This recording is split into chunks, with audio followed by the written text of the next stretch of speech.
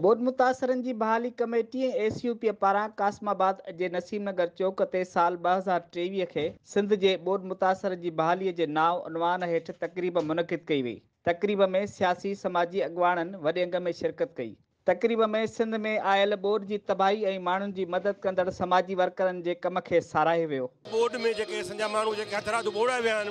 उन सां यकजहदी तौर ते असां हे मल्हायूं पिया असां डिक्लेयर था कयूं त ईंदड़ साल ॿ हज़ार टेवीह जेको हूंदो उहो असांजे ॿोर मुतासिरनि जे बहाली जो साल हूंदो ॿ हज़ार ॿावीह जो साल सिंध जो सूरनि जो साल हो पीपुल्स पार्टी सरकार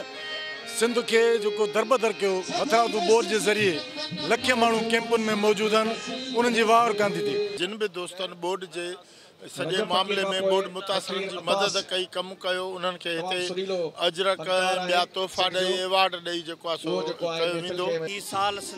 ताईं गरो साबित थियो ॾुखोईंदड़ तकलीफ़ ॾींदड़ जंहिंमें सॼी सिंध बुॾंदी रही सुड़कंदी रही